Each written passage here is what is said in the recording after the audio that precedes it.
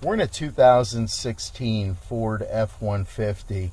I'm going to do the uh, one plug remote starter solution that activates the OEM remote starter built into uh, this vehicle. I'm going to show you where we are relative to the diagnostic plug. So this is called a gateway module. We're going to need to unplug the plug at the gateway module there's a clip that we must press to be able to release the plug.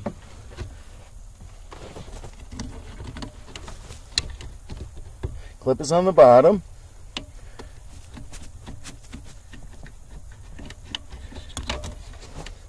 Okay, so we've unplugged the gateway module plug. We're going to go ahead and we're going to plug our device into the gateway plug.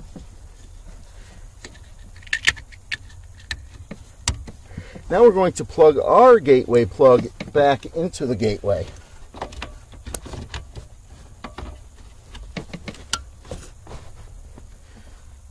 Okay, with our device plugged in, there's a very quick programming routine we're going to use to program the device to the vehicle or pair it with the vehicle. To program our device, we're going to remove the plugs. We're going to locate the data plug on our device and the programming button. We're going to hold our program button down while plugging in the 4-pin data plug. When we do this, the lights are going to illuminate on our device. We're going to release when we see a solid blue LED.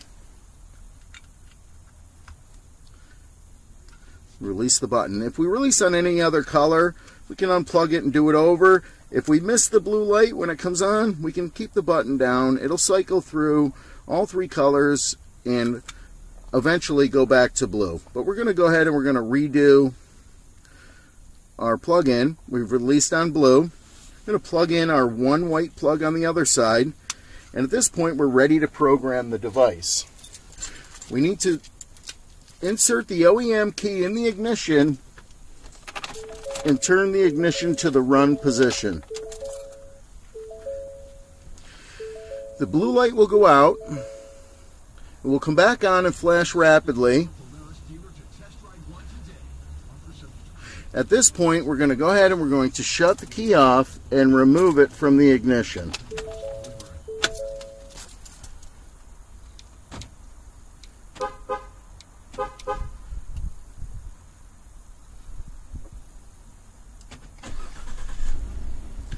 And we're going to activate the remote starter by locking the doors three times. We can turn the remote starter off by locking the doors three times as well. This solution will not activate the menu system built into the vehicle, but it will perform a successful remote start and activate the heat of the vehicle. So we're going to go ahead and we're going to activate the remote start again. We've locked it three times. The vehicle is up and running. When transitioning to driving the vehicle on the key, you want to place the key in the ignition, turn the ignition to the run position, apply the brake to turn off our device. If we do not apply the brake and we turn off the ignition without turning off the device, the vehicle will shut off and it will restart. So I'm going to let I'm to let it do that and then I'm going to show you the correct way to take over. So we're going to put the key in. Going to turn it to run and our device needs to see the brake pedal applied to release or turn off. So I've, I've applied the brake. The device is now off. We would be able to drive the vehicle and if we shut the vehicle off, the engine will shut off and stay off. So with this device, if you don't apply the brake after putting the key in and turning it on, you're not you're not operating the system correctly. The vehicle will restart because we haven't released the remote starter. There's no other way for this device to tell whether you're in it with a key on eh, other than you pressing the brake pedal. So again, we do have a one plug solution for this vehicle. It's coming in a lot priced a lot less than the competitors. But another thing we can do is we can do a one plug telematic solution. which means you can control your vehicle from the smartphone with just this one plug and this device.